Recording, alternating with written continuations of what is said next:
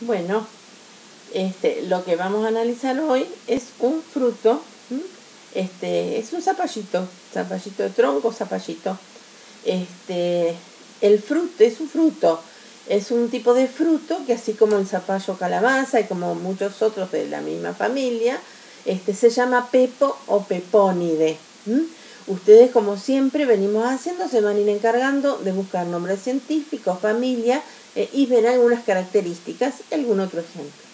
Bueno, este zapallito proviene de, este, es una planta, se trata de una planta con flores unisexuales, este, con flores, o sea que va a haber flores masculinas y flores femeninas. Les doy ese dato para que después me digan este si es diclinodioica, diclinomonoica, bueno, todo eso lo van a tener que, eh, buscar ustedes junto con otras características eh, de esa planta.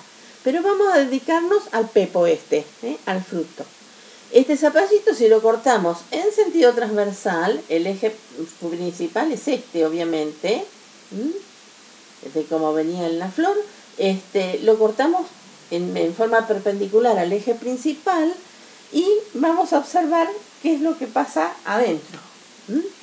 ¿Eh? Ese pepo o pepónide, ahí traté de remarcarle, fíjense, se trata de un fruto eh, que decíamos, bueno, les había avisado que provenía de un ovario ínfero, puede tener, este, en este caso tiene tres carpelos, soldados que determinan tres lóculos, tres lugares.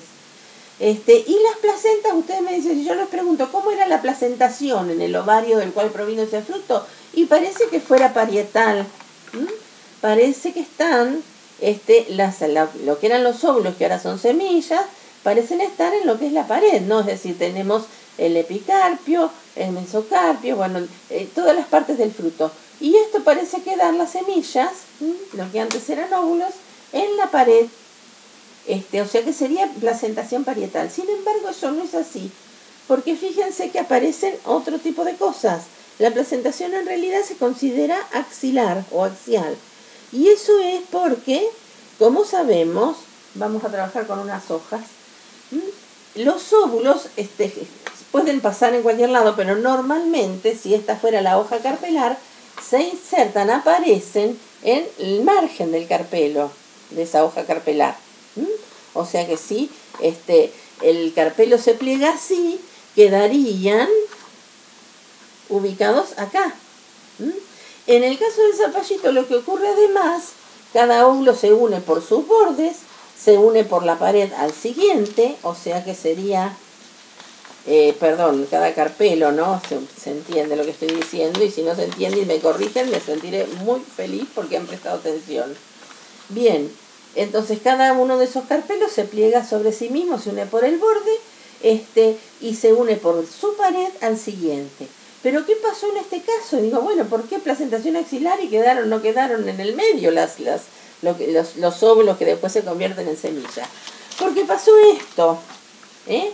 Es decir, el carpelo se pliega para unirse con su borde, pero sufre una curvatura cada uno de ellos y termina formando un esquema así como el que traté de hacer acá. O sea que lo que son después las semillas, los óvulos, quedan como alejados del centro. Sin embargo, es un carpelo que se ha plegado sobre sí mismo y la placentación no es parietal acá, es axilar. ¿eh? Este esquema que se corresponde con lo que observamos en el fruto.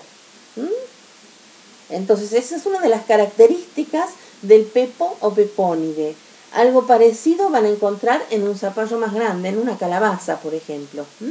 Entonces, estas características, eh, eh, algunas características de este fruto. Bueno, muy bien, un fruto particular proviene de un ovario ínfero.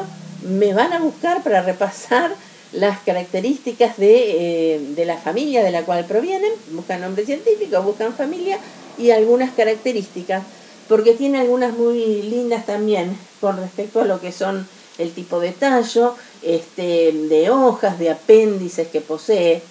Así que todo eso a cargo de ustedes y lo repasamos en clase.